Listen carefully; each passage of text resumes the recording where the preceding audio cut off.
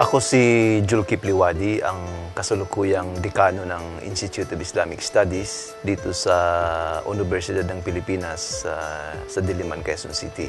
Matagal-tagal na rin tayong nandito sa UP.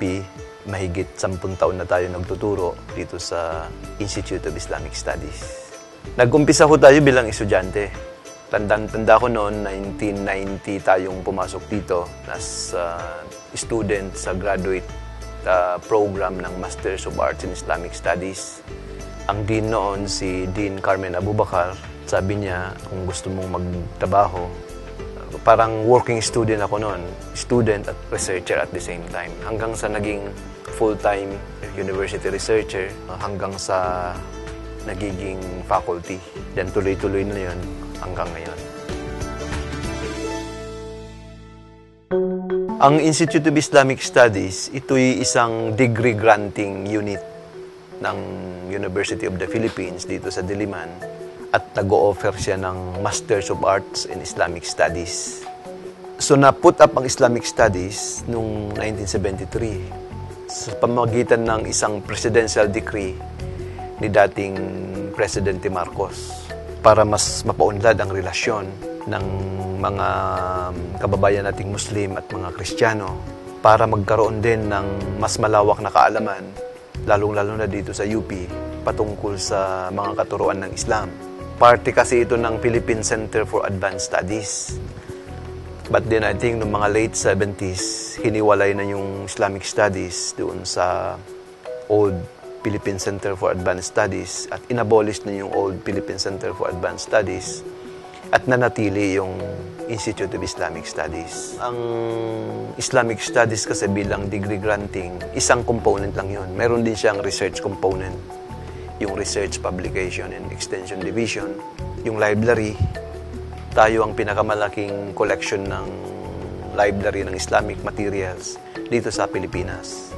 At uh, ang Institute of Islamic Studies ay uh, nagtuturo siya ng iba't ibang uh, mga subjects on Islam naka-align sa in essence Islam not simply as a religion but as a social science ang framework ginagamit natin dito. So kaya bukas tayo sa iba't ibang mga pananaw o mga theories.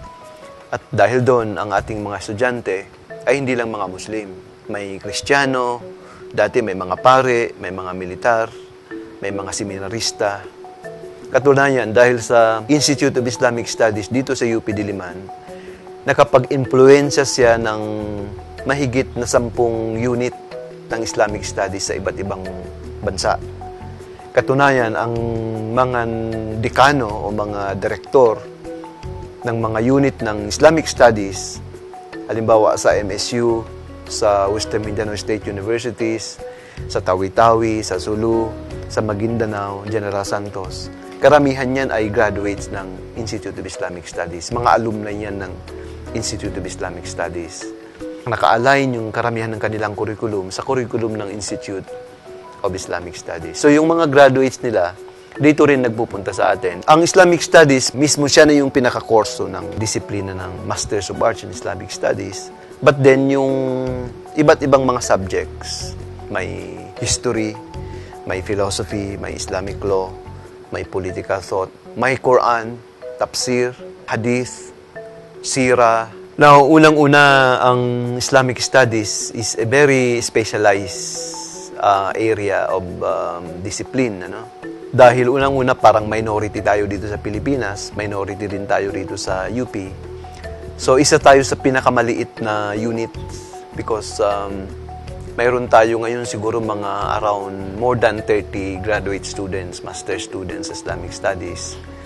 Dahil ang focus ng UP ngayon ay graduate education. Mas gusto nilang quality ang ibigay na education sa ating mga estudyante. So, we thought that tama lang yung range ng number na yun. But pinipilit nating lakihan pa dahil alam natin, maraming mga uh, estudyante na ngayon nang parang bukas na rin yung kanilang mga interest sa katuruan ng Islam. Ito ginawa nating classroom, itong uh, itong parang conference room ng ng Institute of Islamic Studies at yung mga faculty room natatransform din yan into parang classroom at saka sa library at saka may isang kwarto dyan na ginagamit ng Institute of Islamic Studies. Pero parang kakulangan sa atin yon dahil tinitingnan natin na dalaki ang ating enrollees, so kailangan natin ng mga bagong bagong classrooms. And we have been working for the past several years na magkaroon tayo ng maliit na musyal naman lang, pati na rin yung ating classrooms. May mga architectural plan na rin binigay sa atin ng UP. Win ang parang tinatrabaho natin ngayon kung sino yung mga may bagandang loob na tumulong para magkaroon tayo siguro ng bagong building. May malaki pa namang space dyan sa likod na maaring magawa at mapatayuan ng bagong building ng Institute of Islamic Studies. Bilang parte ng universidad, mayroon tayong three basic functions. Yung teaching, sinasabi natin, ito very, ito yung pinaka-core no, ng function ng isang unit sa university. Um, pangalawa, mayroon tayong research functions. No? Karamihan ng ating faculty nag engage dito uh, nagsusulat, nagpupunta kung saan-saan, nagagawa ng kanilang mga research, nag attend mga international conferences, nagpa-publish ng kanilang mga papers. So, typical na gawaing pang-akademiko ginagawa ng ating mga faculty. Um, pangatlong function ng university, including Institute of Islamic Studies, yung tinatawag natin extension, extension services. Dito mo papasok yung mga tulong na ginagawa ng institute sa labas Lalo na, halimbawa, mayroon tayong program yung tulungan yung mga nakakulong nating kababayan. Mayroon diyang programa si Professor uh, uh, Macrina Morado, siya nakatutok dyan. Binibisita yung mga kababayan nating nakakulong sa Muntinlupa, sa mga Bagong Diwa para tulungan, nagagawa ng serbisyo. Tapos pag may mga um, kalamidad, nag-ambag-ambag tayo rito dahil yung jamaa natin, nagbibigay sila ng kanilang mga sadaka. So pinagkakasya-kasya natin yung kung tingin nating sapat, pinamamahagi natin sa mga karon ng sakuna. Minsan natatandaan ko rin, nagme-medical mission tayo. Tapos tumatanggap tayo ng mga tulong na medical. Tapos in-organize natin ng mga doktor. Every Friday, tayo kailangan natin ng imam, kailangan natin ng khatib. At uh, nagpapasalamat tayo kay engineer, no, kay Mr. Tutay, na minsan humahalili na rin siya sa pagkutba dito sa atin. At yung mga iba't ibang imbitasyon ng mga institusyon no, sa dito, lalo na sa Maynila, NGO or government organization na magpa-lecture, consultancy sa DepEd, sa sa Department of Foreign Affairs, sa National Defense. Lahat yan ginagawa natin kung kailangan ng ating servisyo, ang ating tulong, like lecture, research, etc. etc.